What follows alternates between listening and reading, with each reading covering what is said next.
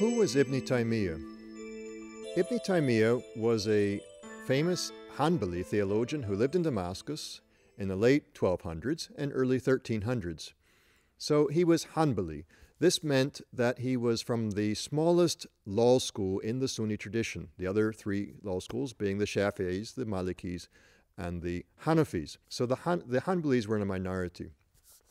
Ibn Taymiyyah lived in the, as I said, Damascus in the late 1200s, the early 1300s. This was a time that was very volatile in that part of the world. This is because the Crusaders had just been there for a while. They were about to be driven out, and the Mongols were coming in from the east. And they invaded, of course, uh, what is today Iraq. They crushed Baghdad in 1258, and then they threatened Syria as well. And Ibn Taymiyyah is famous today because um, he resisted the Mongols by calling for the people of Damascus to go out and fight them. And the Mongols had created a problem, though. They had converted to Islam. And this raised the question should the people of Damascus, as Muslims as well, fight fellow Muslims? And Ibn Taymiyyah says, yes, you should fight.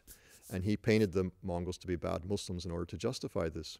And this has been used by Islamic militants today to justify their own resistance to their own rulers. Ibn Taymiyyah is much more important, you might say, however, because he was a reformist.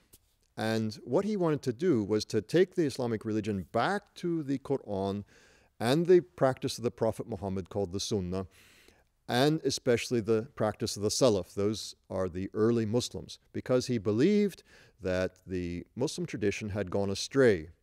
There were lots of theological currents, there were lots of legal currents that had gone off course, you might say.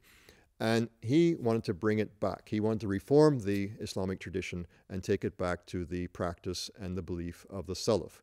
And this also has become extremely important, in fact, probably more important for uh, modern Muslims who take Ibn Taymiyyah as an inspiration for reforming their own tradition. And he's thus had appeal for a wide range of Muslims in the uh, modern period uh, across a wide range of, of perspectives.